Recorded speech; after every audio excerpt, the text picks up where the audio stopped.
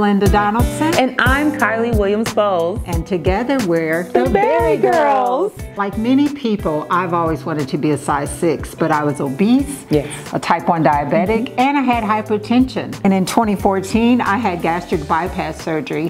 The weight came off, but to keep it off, I had to change my mindset about food and view it as nutritional intake, fuel for my body. Getting weight loss surgery for me was one of the best decisions I've ever made. In my teenage years, I was overweight and unhealthy. Yeah. I weighed 320 pounds and had back and knee pain at 22 years old. Using bariatric surgery as the base, I am now 150 pounds and continue to exercise regularly, as well as selecting only the most nutritious foods for my body. We have to be dedicated to making healthy choices at each meal and love ourselves enough to make it count.